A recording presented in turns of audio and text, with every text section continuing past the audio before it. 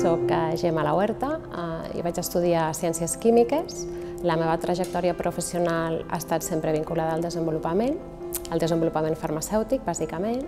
Actualment treballo a la farmacèutica Red Jofre i dirigeixo el Departament de Desenvolupament Farmacèutic de Productes Injectables.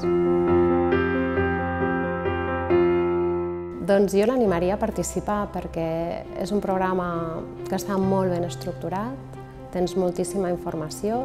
Jo vivint-ho des de la meva perspectiva, un punt que m'amoïnava era, ostres, el meu llenguatge sabrà arribar a, a nens de 12 anys, perquè clar, estem com molt, molt separats, no?